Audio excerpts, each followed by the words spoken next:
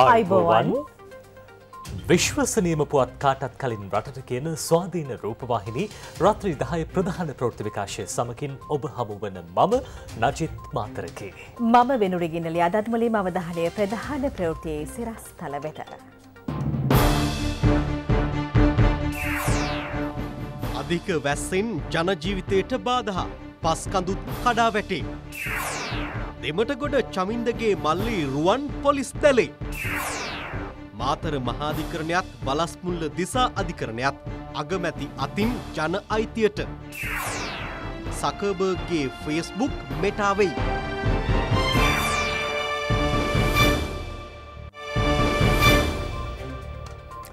අධික වැස්සත් එක්ක විශේෂයෙන්ම මධ්‍යම කඳුකරේ ස්ථාන කිහිපයක් ජලයෙන් යට වෙලා තියෙන්නේ. පස්කඳු කඩාවැටීම් කිහිපයක්ද වාර්තා වෙනවා. මේ අතර වැසි සහිත කාලගුණේ හෙට දවසෙත් පවතිනවා කියලයි කාලගුණ විද්‍යා දෙපාර්තමේන්තුව නිවේදනය කළේ.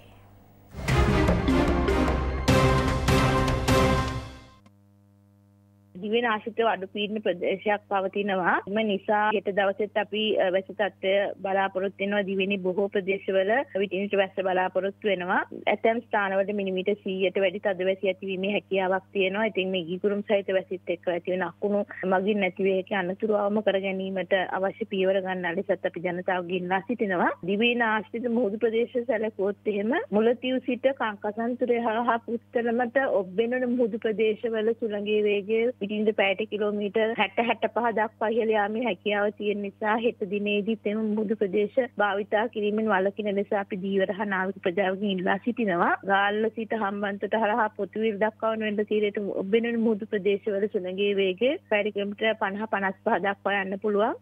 අධික වර්ෂාවත් සමග දික්කොයි ප්‍රදේශයේ නිවාස විසි හතකට හානි සිදුව තිබෙනවා. වාහන ගමනාගමනයටද දැඩි බාධා එල්ල වුණා. ගොවිබිම් රැසකට හානි සිදුව ඇති බවයි අප වාර්තාකරු පවසන්නේ. කෙහෙල්ගමුව ඔය පිටාර ගැනීමත් සමග ප්‍රදේශ රැසක් ජලයෙන් යට වී පවතිනවා. කෙහෙල්ගමුව ඔයේ ප්‍රධාන ජලපෝෂක ප්‍රදේශය වන භගවන්තලාව මහයිලිය රක්ෂිතයට අද දිනේ අධික වර්ෂාවක් ලැබී තිබෙනවා. අධික වර්ෂාව හේතුවෙන් බදුල්ල බණ්ඩාරවිල මාර්ගයේ දෙමුද්‍ර මන්සන්දිය ආසන්නයේ පස්කඳු කඩා වැටීමෙන් එම මාර්ගයේ ස්ථාන කිහිපයකින්ම අවහිර වුණා. මේ හේතුවෙන් පැය කිහිපයක් මෙම මාර්ගයේ රථවාහන දහවඩේ නතර වුණා. ඇදහැරෙන දහරානිපාත වර්ෂාවත් සමග පාලියලි ප්‍රදේශයෙන් බදුළු ඔය පිටර ගැලීමත් සමග නිවස රැසක් ජලයෙන් යට වුණා. වෙනුරේ. මරණ දඬුවම නියම වෙලා ඉන්න පාතාල කල්ලි සාමාජික දෙමටගොඩ චමින්දගේ සහෝදරයා වන දෙමටගොඩ රුවන් අපරාධ පරීක්ෂණ දෙපාර්තමේන්තුව මකින් අත්අඩංගුවට ගත්තා. ඕන ජීත් මේ අතර සැකකරු සතුව තිබූ අධීසකෝ බෝගි රථවාහන කිහිපයක්ද පොලිසිය බහරයට ගෙන තිබෙනවා. රුවන් චමිල ප්‍රසන්න හෙවත් දෙමටගොඩ රුවන් සතුව පැවති සුකෝපභෝගී මෝටරත හතරක් සමග රත්තරන් කිලෝග්‍රෑම් එක හමාරක ප්‍රමාණයක්ද අත්තරංගුවට ගෙන තිබෙනවා. මුදල් විශුද්ධිකරන පනත යටතේ ඔහු අත්තරංගුවට ගෙන තිබෙන්නේ. ඉන්දිය වෙරලාරක්ෂක නිලධහරින් පසුගේ අප්‍රේල් දහවනදා එරට මුහුදු සීමාවේදී හෙරවින් කිලෝග්‍රෑම් තුන්සියක් අත්තරංගුවට ගත්තා. එහිදී කළ ප්‍රශ්න කිරීමලදී හෙළි වූයේ මෙම හෙරොයින් තොගේ දෙමටගොඩ රුවන්ට ලබාදීම සඳහා රැගෙන එමින් තිබූ ඒවා බවයි. දෙමටගොඩ රුවන් සතුව තිබූ දේපල මිලදී ගැනීමේදී මුදල් උපයාගත් ආකාරය සම්බන්ධයෙන් ඉදිරිපත් කළ ලේඛන නීති විරෝධී ඒවා බැවින් ඔහු හා දේපල සිය භාරයට ගත් බවයි අපරාධ පරීක්ෂණ දෙපාර්තමේන්තුවේ නීති විරෝධී වත්කම් සහ දේපල විමර්ශන කොට්ටාශ්‍ය සඳහන් කරන්නේ.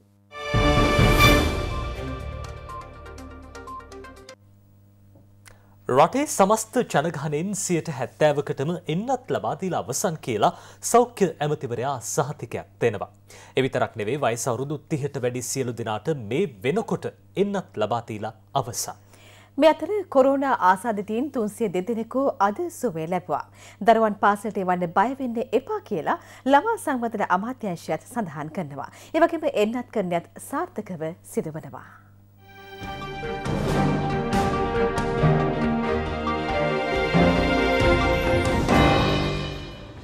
අද දින අලුතින් කොරුණ ආසාධිතින් පන්සේ පනස් හය දෙනෙකු හඳුනාගත්තා. එය අනුව සමස්ත ආසාධිතින් සංඛ්‍යාව පල්ලක්ෂ තිස් නවදහස් හාරසිය දහසයක් දක්වා ඉහළ ගියා. තවදුරටත් ප්‍රතිකාල් ලබන පිරිස දහතුන් දහස් පන්සිය හතලෙස් පහක්. අද දිනේදී ආසාධිතින් තුන්සිය දෙදෙනෙකු සුවය ලැබීමත් සමග මෙරට සුවය ලැබූ සමස්ත කොරුණ ආසාධිතින් සංඛ්‍යාව පල්ලක්ෂ දොළොස් දහස් එකසිය හැට පහක් දක්වා ඉහළ ගියා. සෞඛ්‍ය සේවා අධ්‍යක්ෂණරවරයා අද දිනේදී කොරුණා මරණ දහයක් වාර්තා කළා. එය අනුව සමස්ත කොරුණා මරණ සංඛ්‍යාව දහතුන් දහ සත්සය හයක් දක්වා ඉහළ ගොස් තිබෙනවා. සමස්ත ජනගහනෙන් සියට හැත්තෑවක් එන්නත් කන්නේ අවසන් කර ඇතැයි සෞඛ්‍ය අමාත්‍ය කෙහෙලි නඹු කෙල්ල මහතා යුරෝපා සංගමය නිර්ධාරින් හමුවේ ප්‍රකාශ කළා. වයස අවුරුදු තිහට වැඩි ජනගහනය මුළුමනින්ම පූර්ණ එන්නත් කනට ලක්කර ඇතැයිද අමත්තවරයා ප්‍රකාශ කළා. ශ්‍රී ලංකාවේ හා මාලදිවෙන යුරෝපා සංගමේ තානාපති ඩෙනි චයිප් මහතා අමාත්‍යවරයා හමු අවස්ථාවේදී මේ බව ප්‍රකාශ කළේ. ලෝක සෞඛ්‍ය සංවිධානය සම්බන්ධීකරණයෙන් යුරෝපා සංගමය මෙරට සෞඛ්‍ය පද්ධතිය සඳහා යුරෝ මිලියන දෙකක් පමණ වටනා සෞඛ්‍ය උපකරණ ලබාදීමද සිදු කෙරුණා.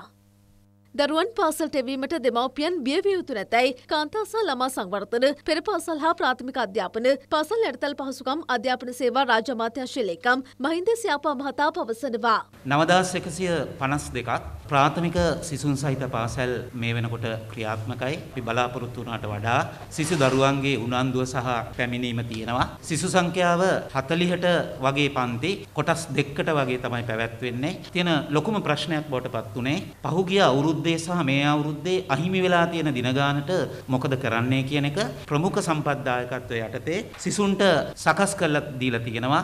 සති 20කට අත්‍යවශ්‍ය ඉගෙනුම් නිපුණතා ටික ටිකක් අත්‍යවශ්‍ය නොවූ ඒවා පස්සට දාලා මේ මූලිකම කාරණා ටික පටන් අරන් කරගෙන යන්න. එතෙන්දී භාෂාමය හැකියාව සහ ගණිත හැකියාව සහ තවත් අත්‍යවශ්‍ය කාරණා ටිකක් ඇතුළත් කරලා ප්‍රාථමික අධ්‍යාපනයේ විනෝදාත්මකව ක්‍රියාත්මක වෙන්නේ.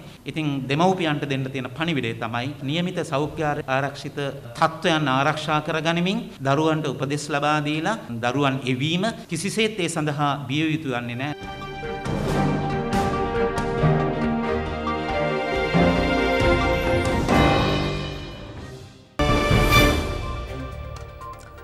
බෙනුරේ. පාස්කු ප්‍රහාරයෙන් පීඩාවට පත් ජනතාව වෙනුවෙන් රජයෙන් ඉටුවෙන්න ඕන යුතුකම් අනිවාර්යෙන්ම ඉටු කරනවා කියලා අග්‍රමාත්‍ය මහින්ද රාජපක්ෂ මහතා අවධාරණය කරනවා. ඕනංචිත් මේ පාස්කු ප්‍රහාරයෙන් පීඩාවට පත් තවත් පිරිසකට සහන සලසමින් අගමැතුමා මේ බව ප්‍රකාශ කළා.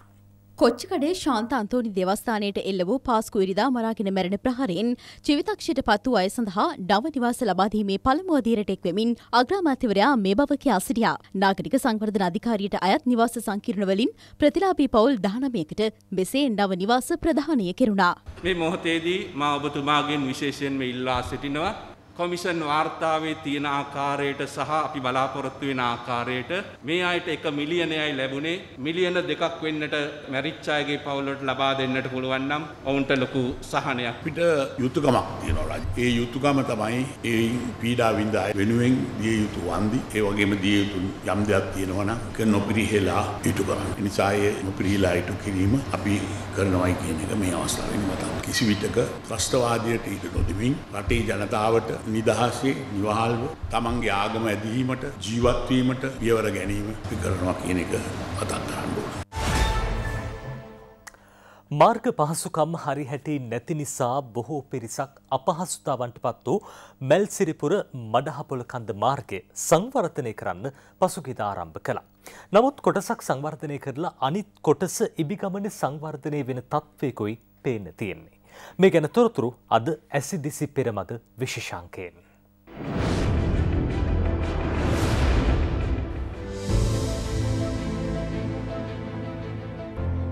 අපි මේ ඇවිත්තින්නේ මැල්සිරිපුර මඩහපොල ප්‍රදේශයට. අපි ආවේ මඩහපොල ඕමාරගොල්ල මාර්ගයේ සංවර්ධන කටයුතු පිළිබඳ හොයලා බලන්න. ඕමාරගොල්ලේ සිට මඩහපොල දක්වා වූ මාර්ගයේ පළවෙනි අධීරයේ කටයුතු අවසන් කරලා කාපට අතුරුලා ජනතා අයිතියට පත් කරන්න සූදානම් දෙවන අධීරයේ කටයුතු ක්‍රියාත්මක වෙමින් පවතිනවා. අපි හිතුවා අද ඇසිදිසි පෙරමගෙන් ඒ පිළිබඳව හොයලා බලන්න. පොල්පිටික ප්‍රාදේශ සභාවේ ප්‍රාසභ මන්ත්‍රීතුමා ඉන්න දිසානායක මහත්මයා දිසානායක මහත්මයා මේ වෙනකොට මේ මාර්ගයේ කොච්චර ප්‍රමාණයක වැඩ කටයුතු අවසන් වෙලා තියෙනවද දැන් මේ වෙනකොට කිලෝමීටර් 3කට ආසන්න ප්‍රමාණයක් තමයි ඉවර කරලා තියෙන්නේ. තාම කිලෝමීටර් 5මාරක් පමණ තව ඉදි කරන්න තියෙනවා. බොහොම මන්දගාමී විදිහට තමයි මේ ඉදි කිරීම කටයුතු කෙරෙන්නේ. හරිම අමාරු දුෂ්කර මාර්ග දෙකක් තමයි මේ ගමට පිවිසෙන්න තියෙන්නේ. ගරු ජොන්ස්ටන් ප්‍රනාන්දු ඇමතුමා බෙලිගමුවේ සිට මඩාපොළ කන්ද දක්වා මාර්ගයේ කිලෝමීටර් දෙකක් සංවර්ධනය කරලා දීලා තියෙනවා. කාපට් අතුරලා තවත් කිලෝමීටරයක් තියෙනවා. ඒ කිලෝමීටරේ කාපට් කරන්න බෑ මොකද කන්ද වැඩි. ඒ නිසා එතුමා පොරොන්දු තුනක කොන්ක්‍රීට් කරලා දෙන්න කොන්ත්‍රාත්කමක පොරොන්දු වෙලා තියෙන කොයි කාලෙ වෙනකොට මාර්ගය අවසන් කරලා ජනතාවට බාර දෙන්න. මම අද ඒ කම්පැනි මහතුරුන්ගෙන් අහපුවම කිව්වේ අය 2022 ජූනි විතර වෙනකොට අවසන් කරන්න පුළුවන් වෙයි කියන බලාපොරොත්තුව එයාලගේ තියෙනවා. ඕමාර්ගොල්ල සිට මඩහපොළ දක්වා වූ මාර්ගයේ මඩහපොළ කන්ද දක්වා කොටස මේ වෙනකොට කාපට අතුල්ලා සංවර්ධනය කොට හමාරයි. එතනින් එපිට කොටසත් මේ වෙනකොට මූලික කොට තිබෙනවා කාපට අතුල්ලා සංවර්ධනය කිරීම වෙනුවෙන්. කිලෝමීටර් අටකවාගේ දුර ප්‍රමාණයක් ඉවර කරන්න තියෙන්නේ. දැනට කෙල්ල දෙන කිලෝමීටර් තුනයි. ඒකෙත් කොටස් කොටස් සමා නිව කරලා තියෙන්නේ වාහන නෑලු බැකෝ නෑලු ටිපර් නෑලු පාරක් හදනකොට වාහන තියෙන්න ඒව නැතුව ඉතින් කොහොම පාර හදන්නේ? මම දැන් අවුරුදු ගාණක් තිස්සේ මේ පාර හදනවා එක එක ආණ්ඩු වලින් එකවදාවත් වෙන්නේ නැහැ. අපි ඉක්මනට මේ පාර හදලා දෙන්න කියලා තමයි කියන්නේ. මෙතනිදම් මීට්‍ර අටසියක් ගිය තැන කුරුණෑකල දමුළු ප්‍රධාන මාර්ගය මුණ ගැහෙනවා. මඩහපොල ප්‍රජාවට ළඟම මාර්ගය තමයි මේ මාර්ගය කුරුණෑකල ප්‍රධාන මාර්ගයට යන්න. නමුත් වැසිකාල සීමාවේදී ජනතාවට වාහනකින් තියා පයින්වත් මේ මාර්ගය ගමන් කරන්න බැහැ. ඒ තරමටම මේ මාර්ගය අබලන්. මුදල් උස්සගන්න පුළුවන් දා ඉඳලා මේ පාර අපි සමාදාන වලින් හදන්නේ. එතෙක් පැවති විවිධ රජයන්ට අපි මේක පිළිබඳව දැනුම් දුන්නා. ඒ දැනුම් දුන්නත් මේ වෙනකන් තවම නිසි විසඳුමක් පිළියමක් වුණේ නැහැ. පාර අහුවෙලා තියෙන්නේ යාපහු ආසනයට තීරියාලාසනයට තැන දෙකට. නමුත් මේ ආසන දෙකෙන් එක කිදුවත් මේක හරියාකාරව කවදාවත් කරනවා කරනවා කොට කෙරෙන්නේ. පාර ගැන කතා කරලා වැඩක් නැහැ මාත් මාත්‍යලාට නම් පේනවනේ ඉතින් මේ වැහි කාලට කොහොමවත් යන්න බෑ මේක. පුළුවන් තරම් ඉක්මනට ඉතින් මේක හදලා දෙන ලොකු දෙයක් අපිට.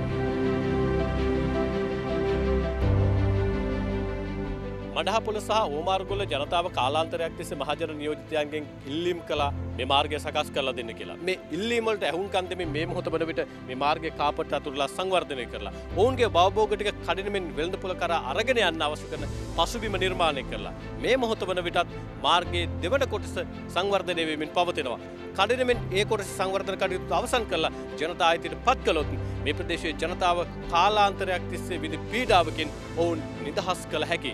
ඒ කටයුත්ත මහජන නියෝජිතයන්ගේ වගකීමක් විදිහට ඉටු කරනු ඇතැයි අපි අපේක්ෂා කරනවා.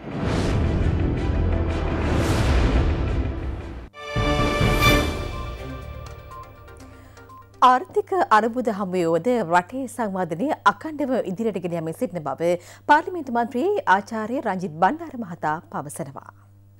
අපි රට බාරගන්නකොට දෙදස් දහනමේ අග අපි බලාපොරොත්තු වුණ අඩුම ගානේ අපේ විදේශ සංචිත බිලියන 18ක්වත් වෙන්න ඕන කියලා තියෙනවා. හැබැයි අපිට හම්බුනේ බිලියන 7යි. මේ බිලියන 7 අපිට හම්බ වෙනකොට මාස 18ක් ඇතුළත අපිට බිලියන 5මාරක් මේගොල්ලන් ලබාගෙන තිබු කෙටි කාල ණය ගෙවන්න තිබුණා. ඒ නිසා අද ණය සේවාකරණය අපිට පේනවා 101යි. ඒ නිසා අපි බාරගත්තෙම අභියෝගාත්මක ආර්ථිකයක්. රටේ ආර්ථික සංවර්ධන වේගයේ ඉතිහාසයේ පහළින්ම පැවති යුගයක තමයි මේ රට අපි බාරගත්තේ. එතකොට ගහින් වැටිච්ච මිනිහට ගොනා එන්න වගේ කොවිඩ් වසංගතය රට පුරාම පැතිරිලා ගියා. ලෝකෙ පුරාම පැතිරුණා. තමනාසලට පේනවා මේ ඒවා එකින් එක ලියාගෙන ලියාගෙන ඉස්සරහට යනවා. රටේ සංවර්ධන කටයුතු අඩාල වුණේ නැහැ. නිවාස හැදෙනවා, පාරවල් හැදෙනවා, පාලම් හැදෙනවා, සේවා වියුක්ත අයට රැකියාව ලැබෙනවා, කෘෂිකාර්මික වෙළඳපොළ සක්‍රිය වෙලා තියෙනවා. මෙම මාධ්‍ය හමුවේදී ශ්‍රී ලංකා පොදුජන තරුණ පෙරමුණේ බුද්ධික වික්‍රමාදර මහතාද අදහස් දැක්වූවා.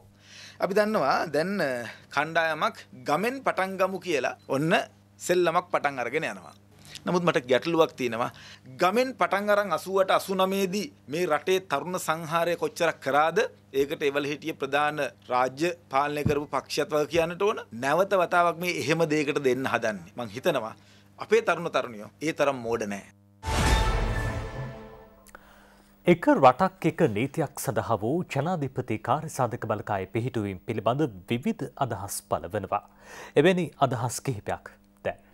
මේ එක රටක් එක නීතියක් දැන් මෙයාලට මතක් කරලා තියෙන මේ අවුරුදු දෙකක් ගියාට පස්සේ දැන් බලන්න එක රටක් එක නීතියක් මේ රටේ තියෙනවද? අපි ඒක ප්‍රායෝගිකව දකින්න ඕනේ. මෙහෙම වචන සෙට් එකක් කිව්වට වැඩක් වෙන්නේ නැහැ. රටකට තියෙන්න ඕන එක නීතියක්. එක නීතියකට අවනත නොවන ජනතාවක් ඉන්න රටක කොහොම නම් සාධාරණ සමාජයක් නීතිකරුක සමාජයක් බලාපොරොත්තු වෙන්නද කියන කාරණාව අපිට නැවත වතාවක් හිතන්න කල්පනා කරන්න සිද්ධ වෙනවා. එවැනි වටපිටාවක තමයි වත්මන් ජනාධිපතිවරයා මේ වෙලාවේදී ගලබඩවත්ත ඥානසාර හඳුරන්ගේ මූලිකත්වයෙන් පත් කළ තියෙන කාර්යසාධක බලකාය ගැන අපි සතුටු වෙනවා. ආණ්ඩුව ඇතුළු කණ්ඩායම ඒ වෙනුවෙන් අපෙන් වෙන්න ඕන යම් කාර්යභාරයක් තියෙනවා නම් අදහස් උදහස් යෝජනා තියෙනවා නම් ඒ සියල්ල වෙනුවෙන් ඉඩක් ලැබී කියලා අපි බලාපොරොත්තු සහගතව බලාගෙන ඉන්නවා. කැබිනට් මණ්ඩලයක් ඉන්නවා. ඒවා කිසි දෙයක් තුට්ටු දෙකට මායින් කරන්නේ නැතුව කාර්ය සාධන කමිටු පත් කරනවා. ස්වාමින් වහන්සේ නමකට අගෞරව කරන්න මම කැමති නෑ. සරල භාෂාවෙන් කියනවා මම ඉදිරියට බෞද්ධ පාසලක සිවුරකට ගෞරව කරන්න ඕන කියලා කියනවා. මේකට ජනතාව දක්වන ප්‍රතිචාරය බලා ගන්න ඕන නම් සමාජ ජාලාවල පොඩ්ඩක් සැරිසරලා බලන්න.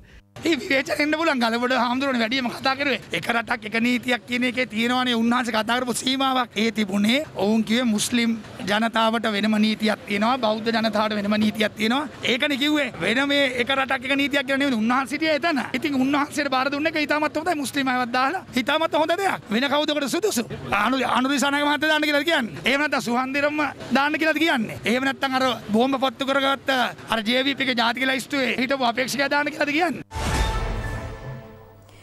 අග්‍රමාත්‍ය මහින්ද රාජපක්ෂ මහතාගේ ප්‍රධානත්වයෙන් මාත්‍ර නව අධිකරණ සංකීර්ණය වගේම වලස්මුල්ල දිසා අධිකරණ ගොඩනැගිල්ලත් ජනතා අයිතියට පත් කෙරුණා.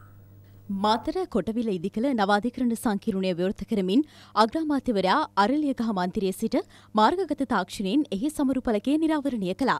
ව්‍යාපෘතිය සඳහා රුපියල් මිලියන එක්දහස් දෙසි අසූ හයකට අධික මුදලක් වැය කර තිබෙනවා. මාතර නව අධිකරණ සංකීරුණය සිවිල් අභ්‍යාචනා මහාධිකරණයක් දිසා අධිකරණ හතරක් මහාධිකරණයක් මහෙස්ත්‍රාත් අධිකරණ දෙකක් සහ කම්කරු විනිශ්්‍ය සභාවකින්ද සමන්විතයි. අධිකරණ සංකිරුණය විවෘත කිරීමට සමකාමීව නීතිඥ සංගම් ගොඩනැගිල්ලක් ඉදිකිරීම සඳහාද මුල් කළ තැබුණා. හැම්ම සතියේ සන්දාවකම වැඩිම කැබිනට් පත්‍රිකා තියෙන්නේ අලි සබ්‍රි ඇමතුමාගේ. කැමිනට් මණ්ඩලට ඉදිරිපත් කළ තියෙනවා පනත් නව සංශෝධන හැටකට වැඩිය. පාර්ලිමේන්තු අපි දහයකට වැඩිය විවාද කළ සම්මත කළ තියෙනවා. ශ්‍රේෂ්ඨාධිකරණයේ සංඛ්‍යාව මිනිසුරුවන්ගේ සංඛ්‍යාව වැඩි කරනවා. ජනාධිපතිතුමාගේ ආශිර්වාදයෙන් ඉතාම වේගෙන් ඒ නීති ප්‍රතිසංස්කරණ පද්ධතිය සිද්ධ වෙනවා අපේ ඉතිහාසය. අපේ රට වෙනුවෙන් අපේ රට ආරක්ෂා කිරීම සඳහා බුද්ධිමත් නායකත්ව ඒ වගේම සමාජයේ පිළිගන්නා නායකත්වය අපිට අවශ්‍යයි. ඉතින් ඒ නිසා ඔබතුමාට හොඳ අනාගතයක් තියෙනවා. අපි සියලු දෙනාගේම දැවැන්ත ගෞරවයක් මේ ගාලි සබ්‍රි මැත්තුමාට තියෙනවා. මේ වෙලාවේ අපේ විනිශ්චයකාරතුමන්ලා මේ නීතිඥ මණ්ඩලය මේ ස්ථානයේ අනාගතයේ කටයුතු කරන ඔබ සියලු දෙනාටම අපේ ආශිර්වාදය ඒ වගේම අපි බලාපොරොත්තු වෙන ශිෂ්ට සම්පන්න ලෝකයකට අපේ රට ගෙනියන්න මහින්ද රාජපක්ෂ මැතිතුමා ආරම්භ කර මේ වැඩපිළිවෙල ප්‍රයෝජනවත් වේවි. ඒ වගේ මේ වැඩපිළිවෙල තුලින් ඔබ සියලු දෙනාගේම වගකීම් යුතුයකම හරහා ජනතාවට ඒ යුතුයකම ඉෂ්ට කරන්න ශ්‍රී ලංකාව කියලා කියන්නේ ජනරජයක් 1972 ඉඳලා. ජනරජයක වැදගත්ම කොටස මේ රටේ ජනතාව. ජනතාවගෙන් තමයි හැමදෙනාටම බලය ලැබෙන්නේ. එකක් විධායකය දෙවන්න ව්‍යවස්ථාදායක තුන්වන්න අධිකරණය. කියන්නේ අධිකරණය කියන්නේ ඕනෑම රටක පාලනයෙන් තුනෙන් එකක් පක්ෂ පාට බේදවලින් තොරව කිසිදු දෙයකින් බිය නොවි යුක්තිය සාධාරණය තිෂ්ඨ කර ගැනීම සඳහා යා හැකි අවසාන තෝතැන් ස්ථානය තමයි අධිකරණය. ඒ හින්දා තමයි අපි අධිකරණය ශක්තිමත් කළ යුතු. අධිකරණ පියස කියන අලුත් සංකීර්ණයට මුල්ගල් තියන්න. අපි බලාපොරොත්තු වෙනවා 2024 අගෝස්තු මාසෙ වෙනකොට මෙරට ඉතිහාසයේ දැවැන්තම ආයෝජනය බිලියන 20ක පමණ මුදලක් යොදලා ඒ අධිකරණ සංකීර්ණය කොළඹ ඉදිකරනවා. ඒ ආවම අලුතින් අධිකරණ හැට දෙකක් ලැබෙන. ඒ අරුණාම මේ සම්පූර්ණ ක්‍රමවේදයම ඩිජිටල් කරණයට ලක් කරමින් යනවා. මේ අතර වලස් මුල දිසා අධිකරණ ගොඩනැගිල්ල ඉදිකිරීම සඳහා රජය රුපියල් මිලියන 66කට අධික මුදලක් වැය කළා. මෙම විවෘත කිරීමේ අවස්ථාවට කතානායක මහින්දයා අබේවර්ධන මහතා මෙන්ම මැති ඇමතිවරුන් ඇතුළු පිරිසක් සහභාගී වුණා. නඩු ඉක්මනට අහන්න කිව්වට පහසුකම් නැත්තම් ඒක කිරීමට හැකියාවක් නැහැ. හොඳ උදාහරණය වලස්සුමුල අධිකරණ. පරණ අධිකරණය තුල දිසා අධිකරණය සහ මහසිසාත් අධිකරණයට එක භූමියක් තිබුණා. හැබැයි මේ පහසුකම් වැඩිවීමත් එක්ක ඒවට වෙන්වෙන්ව අධිකරණ භූමිය වෙන් වෙනකොට කාලයේ විශාල ප්‍රමාණයක් ඉතුරු වෙනවා. එතකොට ඉවර කරන්න පුළුවන් නඩු ප්‍රමාණය වැඩි වෙනවා.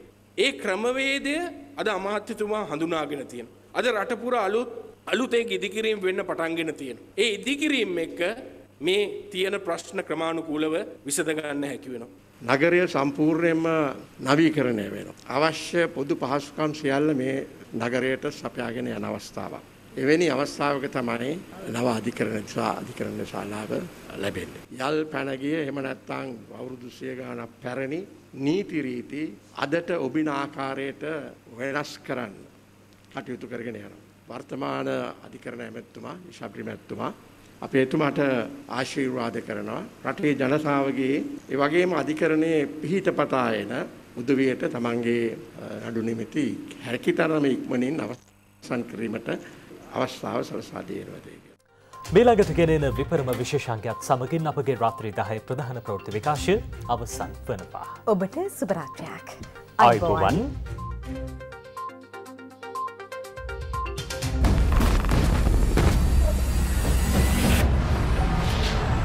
තව තියෙන්නේ සියයට තිහයි.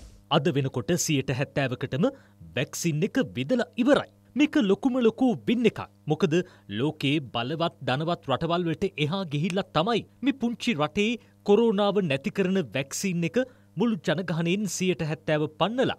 අද වෙනකොට විදලා ඉවර කලා තියෙන්නේ. මහ බලවතුන්ටත් තාම අන්නේ තැනට එන්න බැරිවෙලා තියෙනවා. ලෝකෙ බලවත්තු තමන්ගේ රටේ මිනිස්සුන්ට හරි හමනකට එන්නත විදගන්න බැරුව දඟලද්දි. අපේ රටේ මුළු ජනගහනයෙන්ම සියට හැත්තෑවකටම වැක්සින් එක ගැහුවේ හොඳ සැලැස්මක් හොඳ වැඩපිළිවෙලක් අපිට තිබ්බ නිසයි. රටේ රාජ්‍යනායකගේ ඉඳලම සමස්ත ආණ්ඩුවත් සෞඛ්‍යංශයේ සියලු දෙනත්. ඒ හැමෝම එක්කම අපේ රටේ හමුදා රණවිරුවොත් මේ වැඩේට පුදුම විදිහට සෙට්ටුනා. අන්න ඒක නිසාම අද අපිට ලෝකයේ බලවත් රටවල් අතර වැක්සින් එකින් ප්‍රමුඛ තැනටම එන්න පුළුවන් වෙලා තියෙනවා. ඒකෙනුත් අවුරුදු තිහට වැඩේ සියලොම දෙනාට මේ වෙනකොට වැක්සින් එක ගහලා ඉවරයි. තව තියෙන්නේ පොඩි ගානයි. ඒකත් කරනවා. ඉස්කෝලේ යන දරුවන්ටත් එන්නත විදින්න පටන් ගත්තා. අවුරුදු දාසේ ඉඳලා උඩටම හිට අනිද්දා දොළහ ඉඳලා උඩට පොඩියුන්ටත් වැක්සින් එක ගහන්න ලෝක සෞඛ්‍යයෙන් අවසර එනකං ඉන්නේ. ඒකත් කරලා ලෝක සෞඛ්‍ය අවසරය දුන්නොත් පුංචිම පැටවුන්ගේ ඉඳලා. අපේ රටේ මුළු ජනගහනයටම කොරෝනාවට ඇටෑක් එකක් දෙන්න පුළුවන් වැක්සින් එක ගහලා ඉවර කරගන්න පුළුවන් වේ. එහෙම උනොත් අපිට ලොකු හයියක්. මේක විදගත්ත කියලා කොරුණාව නැත්තටම නැතිවෙනවා කියලා මොන ජගතවත් සහතිකයක් දෙන්නේ නැහැ. හැබැයි මේක නිසා කොරෝනාව මර්ධනය වෙලා පැතිරෙන එක අඩුකරගන්න පුළුවන් කියන එක නම් කවුරුත් කියනවට නෙවෙයි. අපි දැන් අත්දැකීමෙන්ම දන්නවා. ඒක නිසා මේක විදගන්න එක කරගන්නම ඕනෙ දෙයක්. කවුරු හරි තාමත් ඉන්නව නම් මේක විදගන්නේ නැතුව ඒක හරියට ප්‍රභාකරන දුන්න සයිනයිට් කරල බෙල්ලෙ එල්ලගෙන ඉන්නවා වගේ. මොකද විදගත්තොත් ලෙඩේ හැදුනත් ජීවිතේ ගොඩ විද නොගත්තොත් ලෙඩේ හැදුනොත් ජීවිතේ පස්සට නැත්තං චිමිනි ඇතුළේ. ඒකයි ඇත්ත. ඒක නිසා මේක විදගන්න නැතුව ලෝකෙ නැති බහුභූත හිතහිත ඒවට වහල් වෙලා නොපෙනෙන බලවේග පස්සේ තාමත් දුවන උදවිය ඉන්නවනම්. ඒ දෙවිල්ල නවත්තලා වැක්සින් එක ගහන තැන් රට හැම තැනම තියෙන නිසා. කලබලයක් මහන්සියක් නැතුව ගෙහිල්ලා වර්ගෙ මොකක් වුණත් ඒක විදගන්න. වාසිය ආණ්ඩුවටවත් සෞඛ්‍යයටවත් අල්ලපු ගෙදර මනුස්්‍යයටවත් නෙවෙයි තමන්ටමයි. තමන්ගේ ගෙදර උදවියටයි. ඒක නිසා එක එක බහුභූත කිවුම් කෙරුම් අහන්නේ නැතුව. මිත්‍යාවට නෙවෙයි විද්‍යාවට ඇහුම්කන්දීලා වැක්සින් එක විදගන්න. එහෙම නැතිවුණොත් හෙටානිද්ද වෙද්දි බස් එහෙක කෝච්චියකවත් යන්න බැරිවෙයි. ගෙදරට බඩු ටිකක් ගන්න සුපමාකට් එකටවත් ගොඩවෙන්න බැරිවෙයි. මොකද හෙට අනිද්ද වෙද්දි වැක්සින් එක ගහපු කාඩ් එක නැතුව රටේ මොන්නම තැනටවත් යන්න බැරිවෙන්නයි වෙන්නේ. කටුනායකින් එහාට රටකට යන්න හැදුවත් වීස එක ඕනෙ නම් පාස්පෝට් එකත් එක්ක වැක්සින් කාඩ් එකත් ඕනෙමයි. නැත්නම් වීස එක වදින්නෙත් නැහැ. අන්න ඒ නිසා කවුරු කවුරුත් තවමත් බැරිවෙලා තියෙනවා නම් හෙට උදේම ගිහිල්ලා වැක්සින් එක ගහගන්න. ඒක සයිනෆාම්ද ෆයිසද ස්පුට්නික්ද මොඩනාද මොකක්ද කියලා. පෙළපත් නම් හොය හොය ඉන්න එපා. ඇමරිකාවෙද රුසියාවෙද ඉන්දියාවෙද චීනෙද එංගලන්තෙද කියලා බලන්නත් එපා. මොක විදගත්තත් වෙන්න එක දෙයයි. කොරෝනාවට වැඩක් දෙන්න පුළුවන් වෙන එක විතරයි. ඒ නිසා හිටම යන්න. නැතිවුණොත් ජීවිත කාලෙම පසුතැවිලි වෙන්නයි වෙන්නේ. නිකං දෙනස්සයාගේ දත් බලන්නේ මොකටද කියලා ගමයිකුඩේ කියමනකුත් තියෙනවා නේද. ඒ නිසා මේ නිකන් දෙන එක ජීවිතේටම වටින දෙයක්. ජීවිතේ රැකෙන දෙයක්. සමහරක් කියන්න ඇති මේක ගහගන්න එපා. විදගන්න එපා. අර්කවෙයි මේකවෙයි එක එක කතන්දර. හැබැයි හොඳට හොයල බලලා ඇස් සැරල බලන්න. දන්නැත්තං දන්න අයගෙන් අහල බලන්න. ඔය කියන හැමෝම වගේ මේ වෙනකොට වැක්සින් එක විදගෙන ඉවරයි. ඒ නිසා ප්‍රමාදය විනාශයට මුලවෙන්නත් පුළුවන් ඉක්මං කරන්න. විපරම පිටපත සුධර්මන් රතලිය කොටකෙන්.